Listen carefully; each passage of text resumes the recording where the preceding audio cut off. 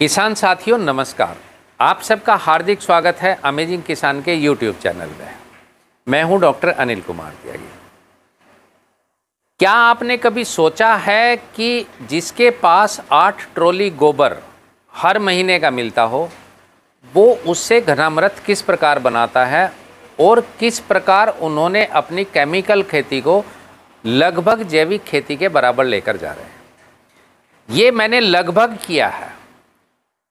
हमने हर महीने हर महीने हम 10 8 से 10 ट्रॉली गोबर का हम घनामृत बनाते हैं। ये घनामृत किस प्रकार बनाते हैं? यहाँ पर दो प्रकार के जानवर हैं। एक हैं एच एफ़ काऊ इनके पास लगभग 40 के करीब एच एफ़ काऊ हैं और 40 के करीब ही भैंस हैं। हम इन सब का गौमूत्र और गोबर इकट्ठा करते हैं। कुछ गोबर हम गोबर गैस में इस्तेमाल करते हैं और जो बच जाता है वो हमारा लगभग आठ से दस ट्रॉली प्रति माह हमारे को मिलता है। हम उससे गोबर की खाद बनाते हैं और जो हमारा करीब 30 से 40 एकड़ जो बागवानी है हमने उसमें लगातार डाल रहे हैं। अब इतनी जल्दी गोबर से अमूमन ये कहा जाता है कि एक वर्ष लगता है कंपोस्ट बनने में, लेकिन हम उसे दो से तीन माह में बना रहे हैं और धीरे धीरे उसका समय कम कर रहे हैं। ये किस प्रकार कर रहे हैं? आज मैं आपके सामने ये साझा करता हूँ। ये देखिए, ये टैंक है 2000 लीटर का। एक ये टैंक है, एक ये टैंक है 2000 लीटर का। ये 4000 लीटर है। और इधर देखेंगे, आप पाँच पाँच सौ लीटर के चार टैंक हैं। आप देखिए कितने सुव्यवस्थित तरीके से ये इसमें इनलेट के पाइप लगे हुए हैं, जो आउटलेट के पाइप हैं और ऊपर की तरफ़ इनलेट का पाइप है। हर इसके पास जो आउटलेट है, वहाँ पर एक वाल्व है और जो इनलेट है, जहाँ से अंदर जाता है, वहाँ पर एक वाल्व है। ये एक मोटर लगा हुआ है यहाँ पर। जो जब हम इसमें जीवामृत, मैं इसे जीवामृत इसलिए नहीं कहूँगा कि ये देसी गाय का गोबर और पेशाब नहीं है इसमें। तो राजीव दीक्षित जी के फार्मूले के अनुसार जिस जानवर का पेशाब है, उसी जानवर का इसमें गोबर है। तो हम जो जैविक खाद बनाते हैं, वो हम जब रोटेट करते हैं तो इसकी सहायता से रोटेट करते हैं। इस प्रकार हमारे पास प्रत्येक 10 दिन में हम 6000 लीटर जैविक खाद बनाते हैं। अब इस 6000 लीटर का हम क्या करते हैं? जो हमारे, हमने गोबर इकट्ठा किया प्रति माह आठ ट्रॉली तो हम उसको फैला देते हैं।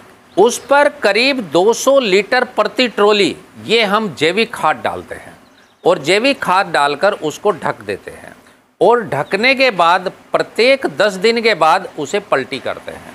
और इस प्रकार जो हमारा तीन महीने के अंदर बहुत अच्छा खाद बन जाता है। और अब जो गर्मी आ गई है धीरे धीरे वह आते आते हमारा दो माह लगते हैं। इसमें हमारा जो सब का सब है, ये जैविक खाद, ये हमारे गोबर में काम नहीं आता। हमारे पास फिर भी बच जाता है। तो हम इसे खेत में सिंचाई के सात पौधों में देते हैं।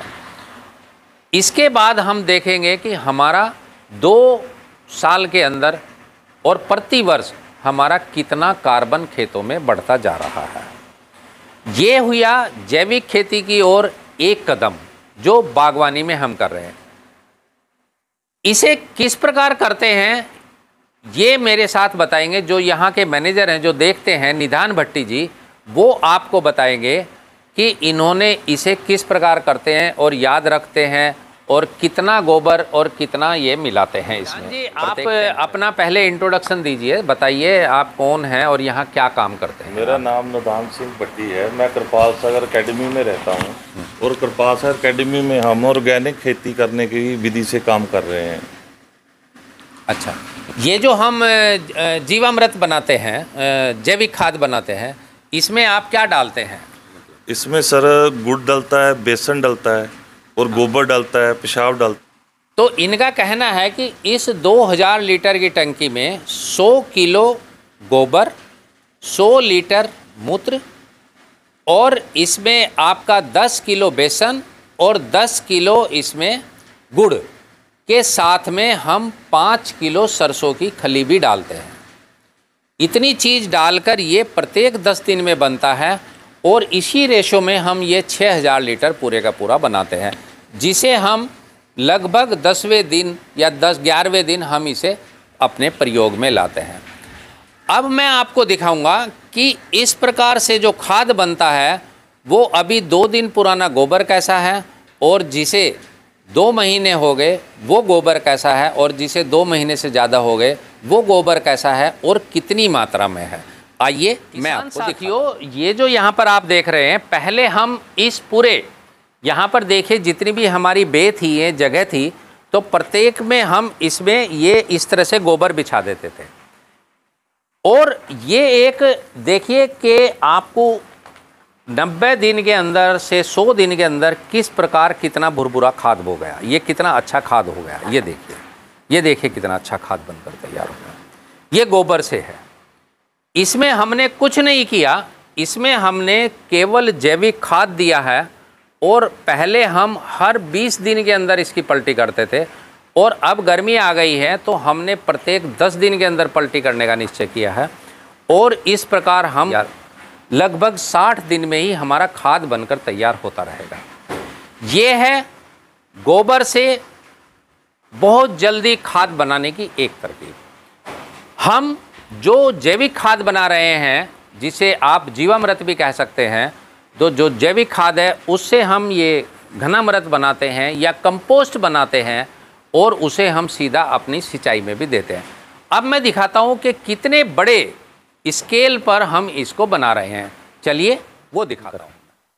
ये वो स्थान है जहाँ पर लाकर हम गोबर डालते हैं और उसके बाद उसका बेड बनाकर वहाँ पर हम उसमें गड्ढे कर कर उसमें अपना जैविक खाद डालते हैं। और जैविक खाद डालने के बाद चूँकि अभी तक पहले सर्दियाँ थी, हम प्रत्येक 20 दिन में उसकी कटाई करते थे। अब गर्मी आ गई है, अब हम प्रत्येक 10 दिन में उसकी कटाई करेंगे। हमने एक यह भी अनुभव किया है कि अगर हम बेड की हाइट ज़्यादा अधिक रखते हैं तो हमें समय अधिक लगता है। तो हमने ये निश्चय किया है कि अब हम इस प्रोसेस को और तेज़ करने के लिए बेड की ऊंचाई कम रखेंगे और हम अपने ट्रैक्टर के रोटावेटर से ही इसकी पलटी कराएँगे। अब ये देखिए, ये जो ये खाद है आपका, जो इतना बड़ा है, इसमें कम से कम भी पाँच ट्रोली खाद होगा, ये बिल्कुल लगभग तैयार है, ये देखिए, ये तैयार हो चुका। इसकी पाँच पलटी हो गई है, यानी कि इसे हंड्रेड डेज़ हो गए हैं। ये वाला जो है, ये एक दूसरा है इसकी चार पलटी हुई है, ये देखिए। ये कितना अच्छा यहाँ से देखिए इसको। ये देखिए, कितना अच्छा खाद अभी बनकर तैयार हो गया है। इस पर हम पाँच छः दिन बाद एक बार और कटाई करेंगे और ये हमारा खाद तैयार हो जाएगा। ये सब खाद हम जो अपने अमरूदों की, सर्दियों की फ़सल ले रहे हैं, हमारे ढाई वर्ष के पौधे हैं, प्रत्येक पौधे में हम 20 किलो ये गोबर का खाद लगाएँगे।